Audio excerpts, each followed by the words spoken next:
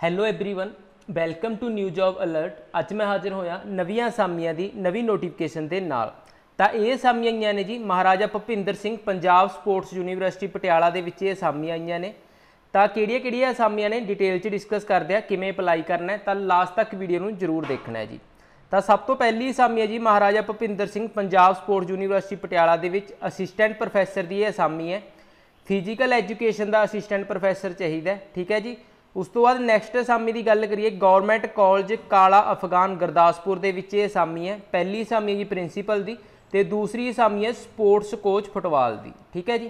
ਉਸ ਤੋਂ ਇਲਾਵਾ ਹੁਣ ਇਹਨਾਂ ਅਸਾਮੀਆਂ ਲਈ ਤੁਸੀਂ ਕਿਵੇਂ ਅਪਲਾਈ ਕਰਨਾ ਹੈ? ਆਨਲਾਈਨ ਮਾਧਿਅਮ ਨਾਲ ਅਪਲਾਈ ਕਰਨਾ ਹੈ। 4 ਜੁਲਾਈ 2022 ਤੋਂ ਤੁਸੀਂ ਅਪਲਾਈ ਕਰ ਸਕਦੇ ਹੋ। ਲਾਸਟ ਡੇਟ ਹੈ ਜੀ ਅਪਲਾਈ ਕਰਨ ਦੀ 20 ਜੁਲਾਈ 2022 ਠੀਕ ਹੈ ਜੀ?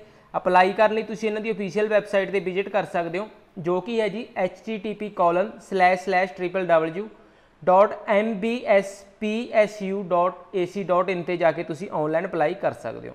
ਤੇ ਆਨਲਾਈਨ ਅਪਲਾਈ ਕਰਨ ਤੋਂ ਬਾਅਦ ਤੁਸੀਂ ਆਪਦਾ ਜੋ ਵੀ ਐਪਲੀਕੇਸ਼ਨ ਫਾਰਮ ਹੈ ਉਸ ਨੂੰ ਸਬਮਿਟ ਕਰਕੇ ਉਸ ਦੀ ਹਾਰਡ ਕਾਪੀ ਲੈਣੀ ਹੈ ਤੇ ਉਸ ਨੂੰ ਮਹਾਰਾਜਾ ਭੁਪਿੰਦਰ ਸਿੰਘ ਸਪੋਰਟ ਯੂਨੀਵਰਸਿਟੀ ਪਟਿਆਲਾ ਦੇ ਵਿਖੇ ਜਮ੍ਹਾਂ ਕਰਵਾ ਦੇਣਾ ਜੀ। ਠੀਕ ਹੈ ਤੇ ਜਮ੍ਹਾਂ ਕਰਵਾਉਣ ਦੀ ਲਾਸਟ ਡੇਟ ਹੈ ਜੀ 25 ਜੁਲਾਈ 2022 ਤਾਂ ਡੈਟਸ ਆਲ ਗਾਈਜ਼ ਜੇ ਵੀਡੀਓ ਵਧੀਆ ਲੱਗਿਆ ਤਾਂ ਲਾਈਕ ਕਰ ਦਿਓ ਸ਼ੇਅਰ ਕਰ ਦਿਓ। ਜੇ ਹਲੇ ਤੱਕ ਮੇਰੇ ਚੈਨਲ ਨੂੰ ਸਬਸਕ੍ਰਾਈਬ ਨਹੀਂ ਕੀਤਾ ਤਾਂ ਪਲੀਜ਼ ਸਬਸਕ੍ਰਾਈਬ ਮਾਈ ਚੈਨਲ ਧੰਨਵਾਦ।